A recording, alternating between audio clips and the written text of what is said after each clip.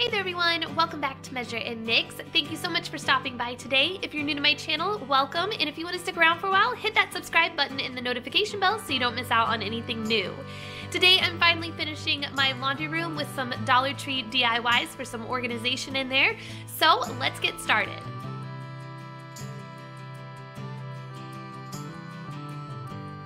So I needed a new hamper for my laundry room, so I'm to create a rolling hamper from some Dollar Tree items. First, I'm going to use this laundry basket that comes from Dollar Tree and some of this nautical rope. I'm going to go ahead and wrap the laundry basket in the nautical rope. I used about seven packs of the nautical rope to go almost all the way up the laundry basket. Then I'm going to use this non-woven laundry bag in the color black and I'm just going to line the inside of the basket with that and I'll pull the top edges around the top of the laundry basket. And you want to be careful with this because it is a thin fabric and it will tear if you pull too much. Um, but if you're gentle with it, it will be fine and you'll just pull it down to meet the nautical rope. Next, what I'm going to do is take a pizza pan from Dollar Tree. I just spray painted mine black. That's optional. And then I'm going to take these wheels that come from Home Depot and I'm going to use some E6000 and I'm just going to apply that to the tops of the wheels here and I'm also going to use a little bit of hot glue as well um, just because I want this to dry quickly and then I'm going to turn the pizza pan upside down and glue those wheels to the pizza pan. Now I'm just going to take my laundry basket and put some E6000 on the bottom of the basket and then also some hot glue and I'm going to glue that onto the top of the pizza pan. Alright, and there you have it, a rolling laundry hamper. So I can just put my stuff in it and then I can just roll it to my washer and throw the stuff in my washer and then roll it uh, to the dryer and take the stuff out of the dryer. So I really love how this turned out. Next up, I needed some baskets for my open shelving that I created for my laundry room. And I am just using these Dollar Tree wire baskets. I used two of the smaller round ones and then one of the waste baskets. And since I don't want to see what's inside of them, I covered them with the nautical rope.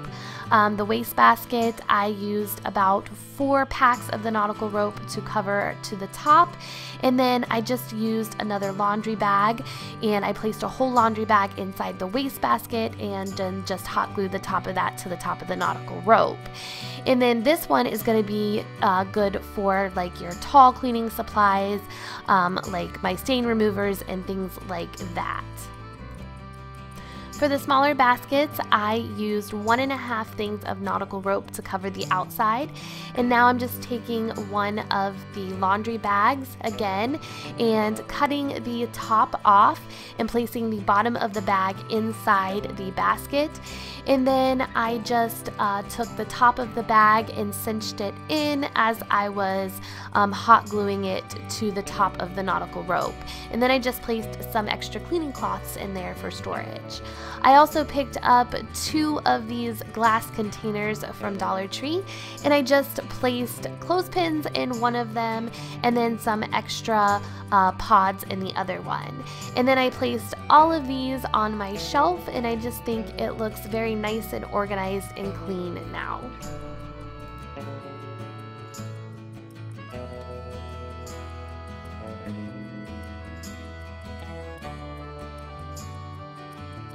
Now I'm just going to use this over the door hanger that comes from Dollar Tree and it was originally white. I just spray painted mine black to match all of the rest of the hardware in my laundry room.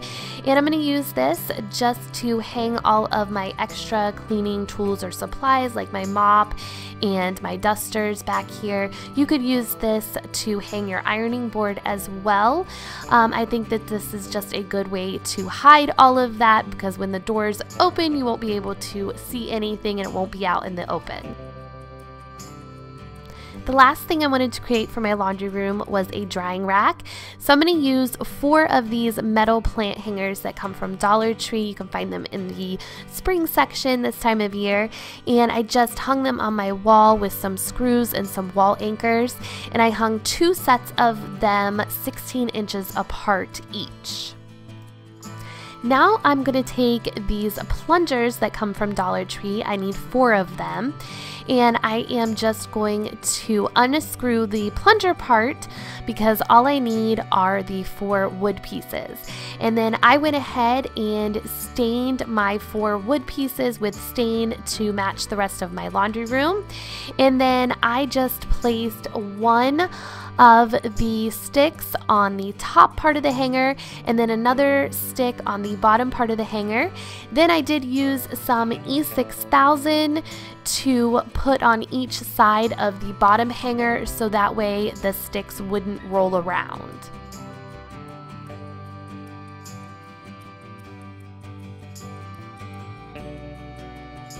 I think this is going to be so useful in my laundry room. It's perfect for when I'm folding laundry, I can hang things up as I go. And then also if there's things that I don't want to shrink after I get them out of the washer, I can hang them up to dry. I love how this turned out. Alright guys, I'm loving how my laundry room turned out with all these Dollar Tree DIYs. I hope you guys liked it too. Make sure to give this video a thumbs up if you did. And thank you guys so much for watching and subscribing and supporting my channel and commenting. I really appreciate it. And I will see you guys next time. Take care. Bye-bye.